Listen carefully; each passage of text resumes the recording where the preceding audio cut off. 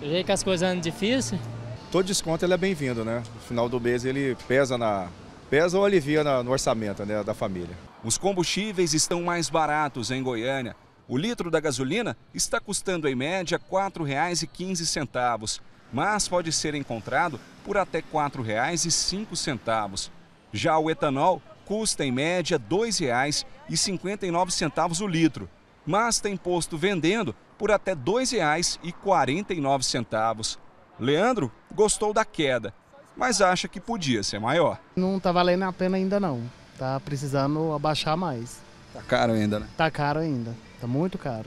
Goiás está na contramão da maioria dos estados brasileiros. Segundo um levantamento feito pela Agência Nacional de Petróleo, apenas aqui e em outros três estados, os combustíveis estão mais baratos.